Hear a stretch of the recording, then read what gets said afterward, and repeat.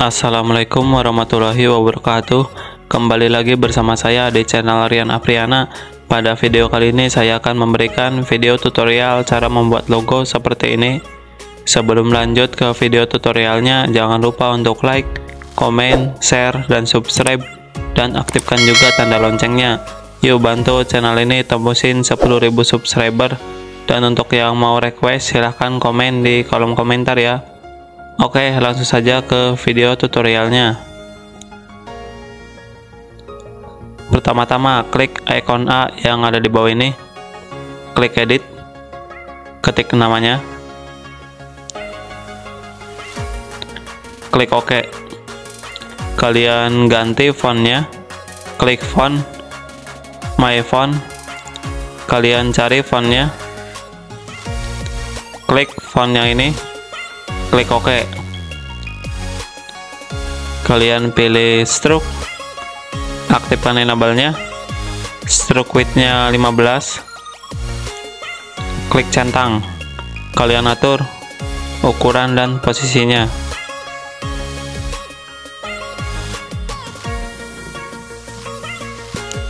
Kalian copy pilih edit ketik namanya klik OK.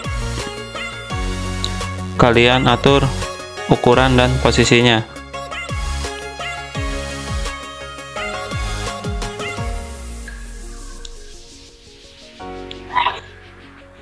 Kalian pilih tekstur masukin teksturnya. Klik centang. Pilih inner shadow. Aktifkan enable pilih warna abu-abu. Blue radiusnya 0 offset X nya 3 offset Y nya 3 klik centang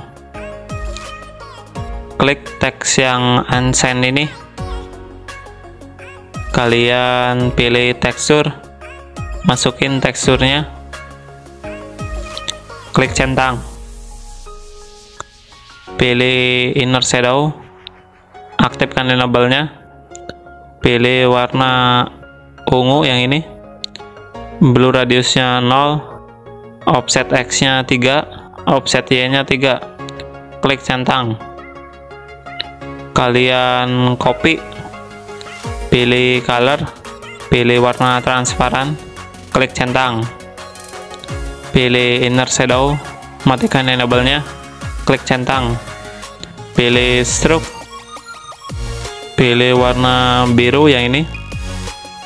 Stroke widthnya 2 klik centang. Kalian atur posisinya.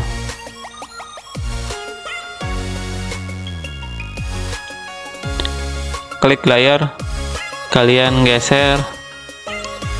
Teks unsen ini ke tengah ya. Klik layar lagi. Klik teks yang L zoom ini kalian copy pilih color pilih warna transparan klik centang. Pilih inner shadow matikan enable nya klik centang. Pilih stroke pilih warna putih stroke width nya 2 klik centang. Kalian atur posisinya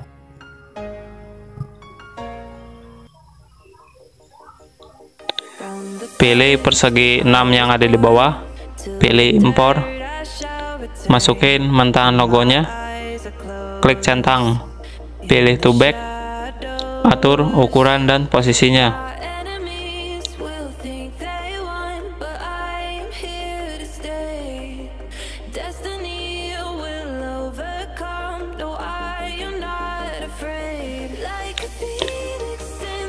Pilih draw klik kaca pembesar yang ada di atas.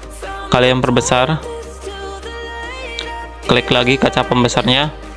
Kalian draw ya yang sebelah sini biar rapi.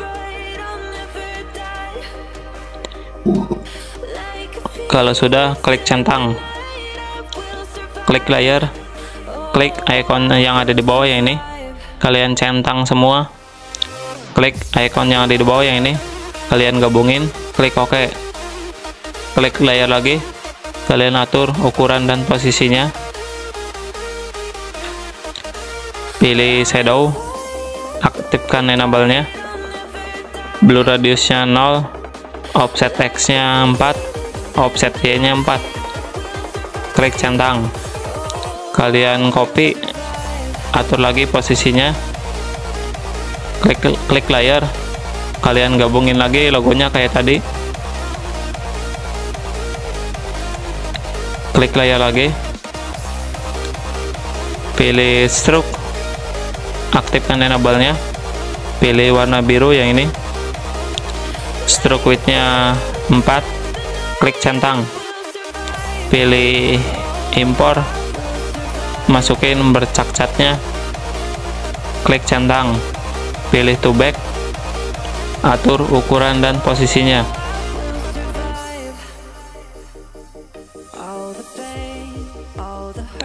pilih kotak yang ada di bawah yang ini.